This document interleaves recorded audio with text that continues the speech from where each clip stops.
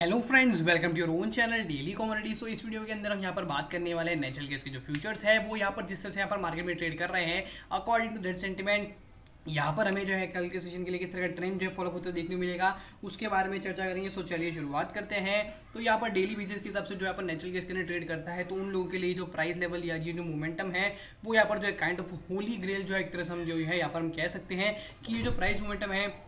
वो यहाँ पर हमें जो इसी प्राइस बैंड के अंदर जो है ट्रेड होते हुए देखने को मिल रहा है। और इस वीकली ओवरव्यू के अंदर भी यहाँ पर हमने आपको जिस तरह से बताया था कि एक अच्छा सा प्राइस मोमेंटम भी अगर यहाँ एंट्री तेरह, दो सौ चौदह पे भी मिल जाती है तो काफ़ी अच्छा खासा जो यहाँ पर प्राइस पोजिशन देखने मिला। और दो सौ चौदह से आप यहाँ पर देख लीजिए कि दो सौ पचास तक का जो मोमेंटम देखने मिला है, वो थर्टी फाइव पॉइंट तक का मानेंगे। एक लॉट अगर हम यहाँ पर एक फ्यूचर लॉट के हिसाब से देखें तो थर्टी का यहाँ पर हमें जो है प्रॉफिट बहुत ही आसानी से तीन सेशन के अंदर जो है देखने को मिला है।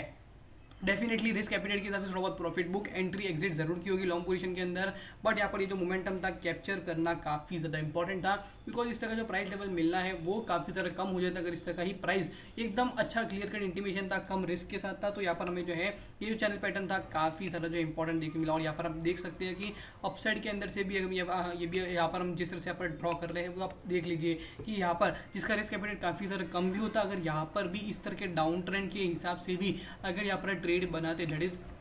मैं स्पेसिफिकली इस डाउन ट्रेंड की बात कर रहा हूँ तो यहाँ पर ये जो डाउन ट्रेंड आया था, उसके बाद भी ये जो ब्रेकआउट जिस तरह से देखने को मिला है, उसके बाद भी अगर यहाँ पर पोजीशन बनाए थे दैट इज़ 223 का 223 223 चौबीस पे भी एंट्री बनाए तो भी काफ़ी अच्छे अच्छे टारगेट्स हैं लॉन्ग पोजीशन के अंदर कवर होते हुए देखने को मिलते थे। सो ये तो जो चीज़ है, वो यहाँ पर हो चुकी है बट स्पेसिफिकली अगर मैं यहाँ पर ट्रेडिंग के हिसाब से बात करूँ तो आजकल के ट्रेडिंग सेशन के हिसाब से, मेरे पॉइंट ऑफ़ व्यू के से मेरे, आपको जो है थोड़ा बहुत होल्ड करना चाहिए डे इसका जो मोमेंटम है, वो देखना चाहिए अकॉर्डिंगली यहाँ पर जो नया रेट बनाना चाहिए फॉर टाइम में आई थिंक यहाँ पर हमें जो होल्ड करना चाहिए कि किस तरह का प्राइस मोमेंटम यहाँ पर कल का सेशन जो है बनाता है। अकॉर्डिंगली यहाँ पर हम जो है ट्रेड डिसाइड करेंगे। सो स्टे ट्यून रहिए चैनल के थ्रू और यहाँ पर जो मोमेंटम है, जो डिस्क्रिप्शनरी नॉलेज है, वो यहाँ पर आप जो है मेन ध्यान रखिएगा। सो होप करता हूँ कि वीडियो आपके लिए इन्फॉर्मेटिव रही होगी और यहाँ पर ट्रेडिंग के लिए नहीं, बल्कि ट्रेडिंग करने के लिए होल्ड का जो यहाँ पर हमने आपको संकेत दिया है, वो जानने के लिए मददगार रहा होगा वीडियो आपको। अच्छा लगा तो वीडियो को लाइक शेयर और मैं चैनल को सब्सक्राइब करना ना भूलिएगा। Thank you